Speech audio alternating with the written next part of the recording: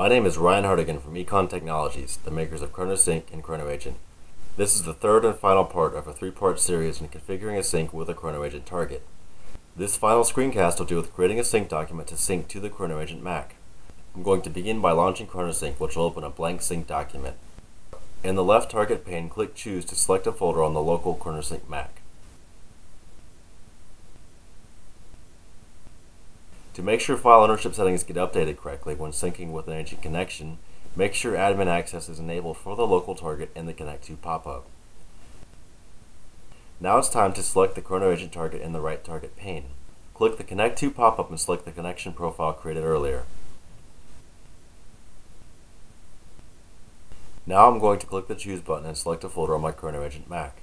When the file selector sheet appears, it shows the root level of the selected hard drive and if you're looking for your home folder, it should be located inside the user's folder. Save the sync document by going to File, Save.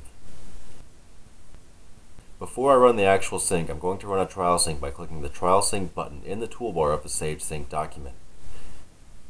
ChronoSync will begin analyzing and comparing the two directories, and soon a sheet will appear showing the files to be synced with status arrows. If everything looks good, click Synchronize and wait for the Synchronize Complete pop-up to appear with the results of the sync. The final result is that I've synced a folder from my ChronoSync Mac to my ChronoAgent Mac using ChronoSync. If you have any questions about this screencast, ChronoSync, or ChronoAgent, just visit our website at econtechnologies.com and submit a question through our product support page.